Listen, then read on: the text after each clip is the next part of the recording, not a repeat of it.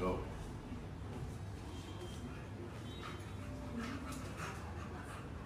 Hey Toro. What's up, Toro?